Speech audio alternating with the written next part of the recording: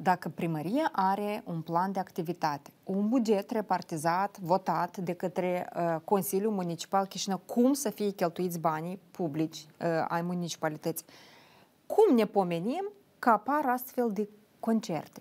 Cum ne pomenim că uh, Consiliul a acceptat ca banii să fie cheltuiți pentru astfel Doamna de Marian, ne-a activități? spuneți Consiliul acceptat. Nu a acceptat Păi nu Consiliul... trece prin Consiliul... Uh, Noi vorbim de bugetul municipal care Da. a fost votat. Pentru, Și acolo sunt mai multe secțiuni. Exact. Pentru fiecare direcție sunt acordați uh, anumiți bani.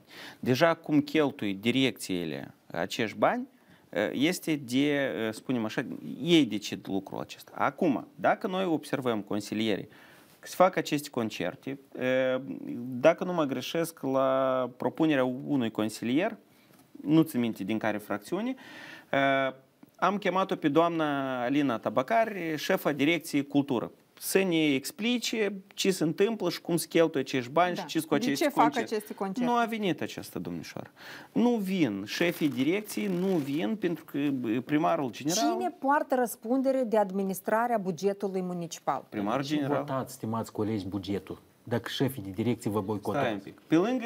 Stai, Ivan. Noi votăm... Ia că numai noi, patru ani, n-am votat bugetul. Nu, și... Dar cum și- să lucreze primăria? Păi Cum asta să e lucreze, chestia. să vină să Să raporteze raporteze. de fiecare dată, Și apoi să fiecare vină să bănuț care lucreze, nu nu așa. Raportează.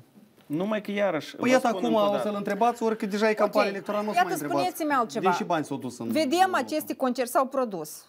Bani s-au cheltuit. Nu știu, o să ne spună Și primarul datorii câți 2 bani. miliarde. Primăria are. Da, atunci și vorbim despre asta. Ce se întâmplă mai departe? Iată, ei au făcut aceste uh, cheltuieli nejustificate din punctul meu de vedere, n-are de ce primăria Chișinău să ocupe de uh, promovarea tradițiilor moldovenești și a culturii în Europa asta, cu totul alte instituții trebuie să ocupe. Ce se întâmplă mai departe? În mod normal ar trebui Curtea de Conturi să vină cu un uh, control, să verifice cum au fost cheltuiți banii, care a fost destinația, inițial cum a fost, cum s-au transferat și așa mai departe. Și să vină cu un, uh, o analiză amplă asupra la, ce, la ceea cum s-a cheltuit banul public.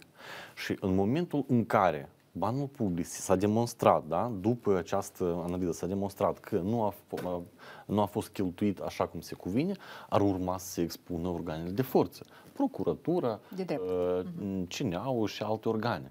Asta ar fi normal. Consiliul Pentru că Municipal ca Chișinău așa nu și are rămân nicio fără de- pârghie de a responsabiliza uh, primăria, executivul Consiliul primăriei? Municipal Chișinău, eu vă spun ce o să fie la prima ședință când o să aibă loc ședința respectivă. Când o Ea să o să aveți aibă loc.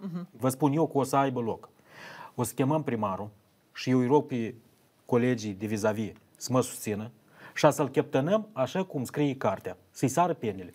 Ia că Ia că uitați E, Noi am primit recent e, Da, da, o, înțelegeți o, da, o secundă. Da. Direcția Cultură este.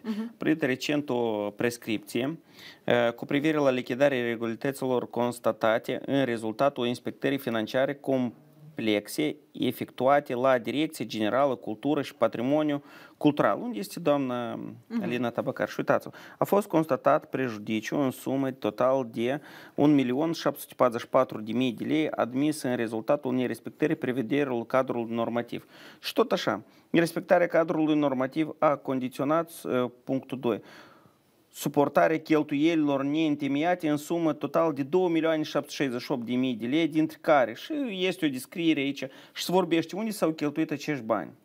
Ia uite, din caz, cheltuieli de cazare, 9,8 milioane de lei, cheltuieli de cazare și de 9 urne milioane? achitate. în- Da, iet- este nota asta informativ care spuneți dumneavoastră. Noi pentru Eu mai bilete mult am de o avion, întrebare un milion retorică. trei sute de Uh, lei. Inspecția financiară. Dacă doriți, eu am să vă dau și o să o Inspecția public. financiară se referea la ce perioadă aici? Uh, Care a fost perioada verificată? trei- da, noi am primit-o pe data 30 06 2023. Nu e vorba de perioada când care o, o este supusă Jumătate de an, verificării. da. Cred că e anul trecut, cred că de obicei Deci, așa se întâmplă. nu, ea 2020-2021. Asta încă o dată demonstrează că noi nu avem instituții și chiar dacă avem o guvernare centrală, vorbea și reprezentantul socialiștilor, Curtea de Conturi, inspecții financiare, care ar trebui să verifice legalitatea. Eu am văzut un singur exemplu, colega noastră, primărița de la Rusește Noi, nici nu a reușit măcar să facă achizițiile, pentru că satul european, nu știu de care, deja stă CNA-ul și verifică ce ai să faci tu cu achizițiile. Dar la primăria Chișinăului nimic. Dar eu vreau să aduc în discuție altceva. Mie mi-e interesant o chestie și asta e o întrebare retorică. Nu, în o cei care secundă doar. îți E plecați pentru de acasă. semestrul 1 al anului 2023. Pentru Asta e semestrul anul unu. acesta. Am înțeles. Trebuie să O vă să dau faci și să... public și o să ne uităm În toți. semestrul întâi s-a făcut uh, Întrebarea mea e pentru cei care astăzi uh, îi vedem în imagini că dansează hora la Milano și la, uh, și la Barcelona și în alte orașe europene. Chiar atât de scurt în memoria diasporei. El face parte din 2020. generația care a fost cu Voronin uh, 10 ani la guvernare, din 2001-2009. Ne-au bătut din ne-au ieșit ochii împreună cu Zenaida Petrovna pe 9 aprilie. 7 aprilie. Ne-au deportat pe 2007 aprilie. O, o, o participat împreună cu Dodon la toate bă, șmecheriile până în 2021-2023, au devenit primar. Și diaspora a uitat toate ofensele aduse, tot faptul că i-au deportat. Și acum dansează într-o veselie.